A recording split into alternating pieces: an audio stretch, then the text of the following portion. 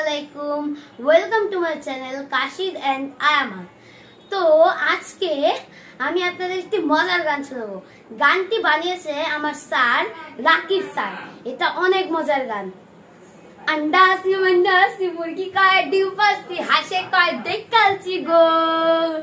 ছাগল করে বে বে, কুকুরে কান্দে, বিড়ালে গিটার বাজায়। গিটারের তালে তালে মুরগি ডিম আমরা বাচ্চা খাই ভিউয়ার্স বাই